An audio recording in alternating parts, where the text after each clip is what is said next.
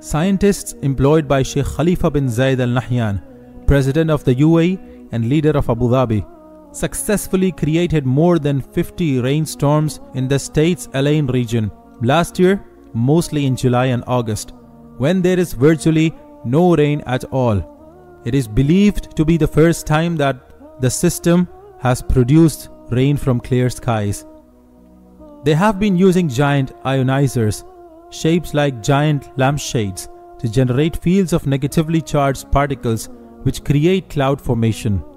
Not just in the Middle East, the United States has been able to pull some serious technology off that will be controlling the weather.